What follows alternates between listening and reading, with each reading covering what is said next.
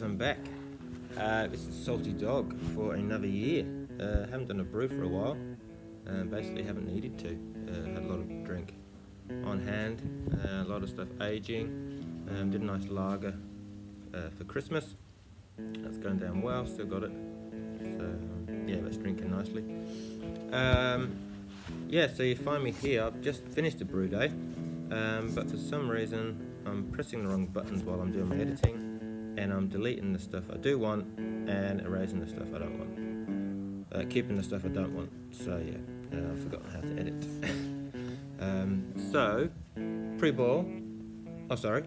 Uh, we're doing a um, 100% Maris Otter lager today because that's all I've got in the grain bucket. So thought, why not? We'll go for Maris Otter. Um, yeah, so I haven't done any brewing related stuff for a while. Um, basically, I've picked up uh, my guitar again after about 20 years and um, having a little bit of fun on that. So that's taking up my time at the minute. Um, but yeah, we'll do a few more brews and make a few more beers for you guys to see and well, for me to see as well, you know. Um, so yes, uh, the brew day is done, but this is the first video, so enjoy, guys. Okay guys, we're back. That was way too hard to do in one hand. Um, so we mashed it in to get rid of any dough balls. And that aroma has just come back again. Awesome smell of the, the mash happening. I don't think we're too bad for dough balls.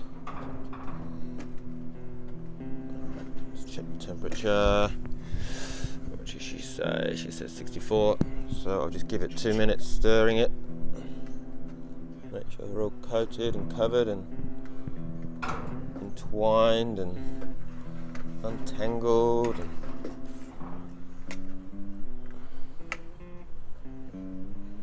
okay. I reckon that'll do, fellas.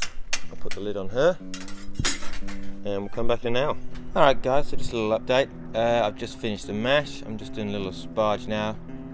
Uh, mashed for an hour, sparged out 78 for about 10 minutes.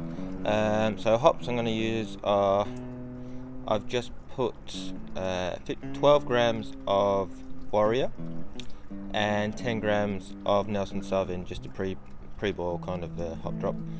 Um, I think that might be it until probably until the whirlpool. Might put a few in the whirlpool because I've only got high alpha high alpha hops. Um, I've only got bittering hops. I haven't got really any aromas.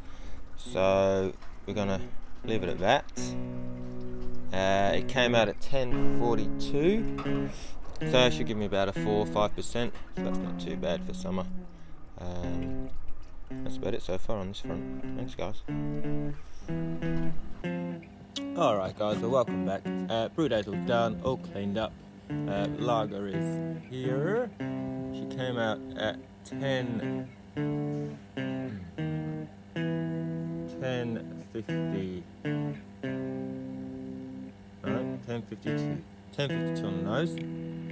There she's there just clearing up in the in the tube. As I said it's 100% Maris Otter so um, nice and light. Um, I didn't whirlpool hop.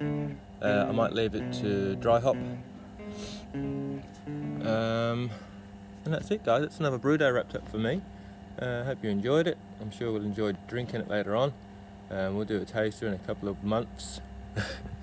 uh, stick around for that one.